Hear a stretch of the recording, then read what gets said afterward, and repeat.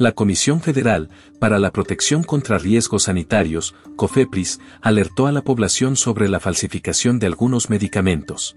La comisión detectó falsificación en medicamentos para el hipotiroidismo, Eutirox, la disfunción eréctil, Cialis, terapia hormonal, Sostenon, y como producto engañoso detectó el suplemento, Diolix, para la hipertensión y diabetes.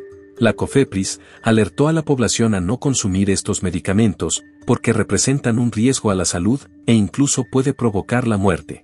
Ante la duda de la autenticidad del medicamento, la COFEPRIS pone a disposición la página Consulta de Registros Sanitarios.